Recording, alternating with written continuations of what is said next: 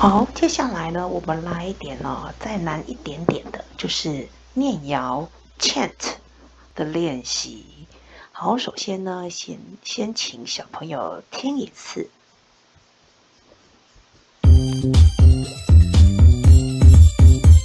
The mug is in the hut. The bug has a nut. The bug hugs the nut by the mug.